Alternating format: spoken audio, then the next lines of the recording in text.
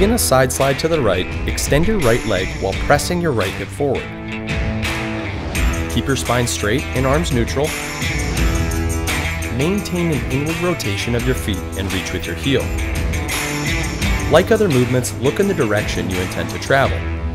To stop the movement, return to a neutral sit-fly position, followed by a slight input in the opposite direction. Key things to remember about sit-fly side slides are Keep your spine straight and avoid bending in the torso. Extend your leg in the direction that you want to travel.